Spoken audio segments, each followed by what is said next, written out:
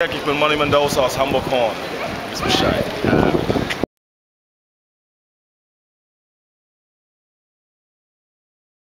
Gruß an die, die Menken.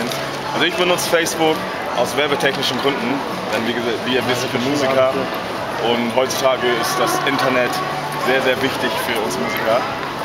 Und ja, deswegen surfe ich auf diesen Plattformen. Ne? Hast du irgendwie auch Kontakte von sehr weit her und da kannst du auch mit denen Bilder austauschen? Das ist einfach viel einfacher. Ja, auf jeden Fall, auch musikal. Äh, und ich sag mal auch auf dem, auf dem Song, denn ich habe halt viele Künstler, mit denen ich arbeite aus Amerika, aus Jamaika, aus England etc.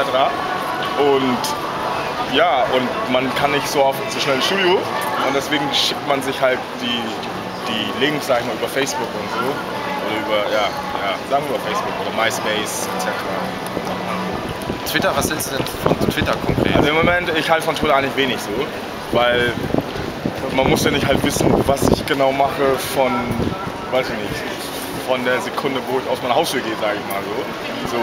Natürlich, weil wenn ich im Studio bin oder so, sage ich ja, ich bin gerade im Studio oder so, aber einige schreiben ja, ich bin genau hier, jetzt hier beim Bäcker, ich verlasse das Haus, ich mache das. Das ist alles zu persönlich so. Und meine Fans wollen halt zwar wissen, was ich mache, aber die können wissen, was ich schreibe und das reicht. Sehr schön.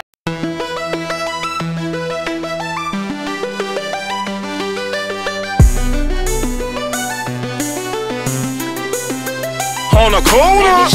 Around in my hometown.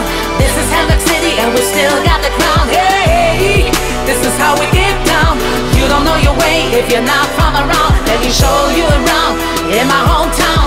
This is Hammock City and we still got the crown. Hey, this is how we get down. You don't know.